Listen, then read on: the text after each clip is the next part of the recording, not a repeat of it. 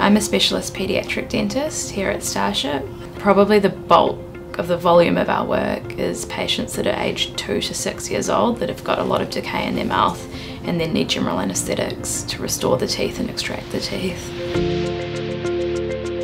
Our research project is looking at risk factors for basically early childhood caries, which is dental decay in children under the age of 6 years old.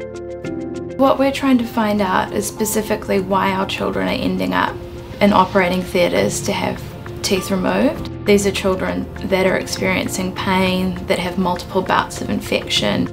I think if we know exactly who these children are and why they're getting this disease, we can really target resources into solving this problem. Ultimately, we're hoping our study will benefit the children of New Zealand what we're really hoping is that we're going to decrease the number of children that are coming in to the hospital for treatment under general anaesthetic.